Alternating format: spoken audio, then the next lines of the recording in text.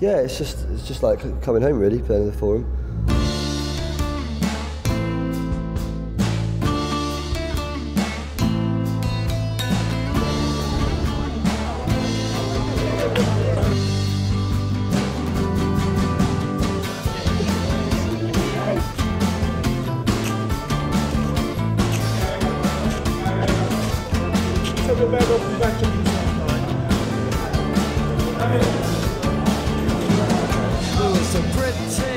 Uh, I think the Forum gigs went went well. It seems strange that, so, uh, that so early on in what we were doing, we were going to uh, be playing uh, like one Forum.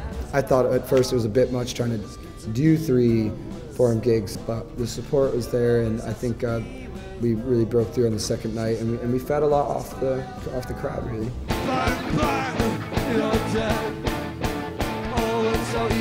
Once I got used to the idea, I did have confidence that we could do it and we could definitely pull it off. It, yeah, it went really well. The first night was strange, we were kind of getting used to it, and then the second night was really good, and the third night was really good as well.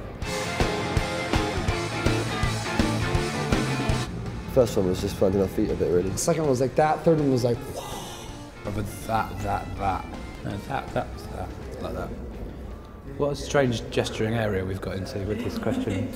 Give me something to die for! Give me something to die for! I'll someone to go afterwards. But Angela, and we like Angular bands. Just to let you joke. It sounds really messy and like unrehearsed, but also really good, and it's really nice. I would always support Carl. The Clash version. Give me something to die for! I think we felt a sense of accomplishment after the third one. I think I did. Uh, it was great. The balcony was bouncing, and all the people we met afterwards, you know, just I don't know. They're just not idiot rock fans. They don't say "fucking rock, rock on, dude."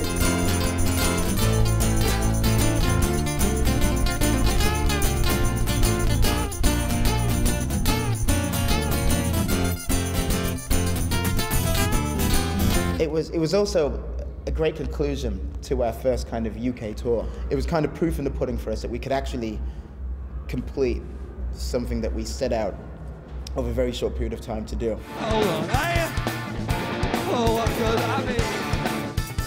The crowd was so wicked, and like they, you know, knowing all the songs. There's a lot of like pointing and singing. I saw a guy balcony like pointing down. I was actually trying to make a connection with him. I think maybe I had, maybe it was in my mind. I don't know. Either way, like I think I did. My favourite's probably Gin and Milk or Blood Thirsty Bastards. Gin and milk's best. Probably gin and milk. And I don't know. Quite like Burma, it's really different.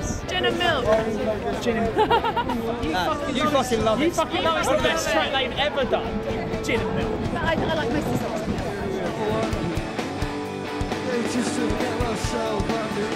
You know, we're so thankful to take it this far, and after this, you know, we just um, have a little bit more confidence, I guess. You know, just that little. I mean, that's how it is for bands. You know, you fucking it's ups and downs, and it's really nice to come out of three nights at that place and. Um, and feel like it was it definitely has brought us up a little bit. We brought about a kind of a, a brotherly bond. This was kind of like the end of a particular chapter in our little brief history thus far. The gigs are great. They're really really great. I didn't fuck up the trumpet bit. You didn't. which is uh, thankful because I thought it was really going to blow up bad at that one. Our friends seem to have a good time as well.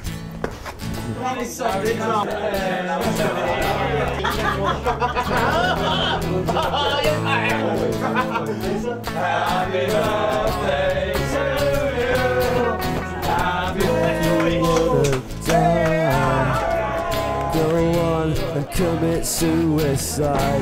You wanna live, I know. You gotta get him by the throat if you wanna die. Suicide. You wanna live, don't you?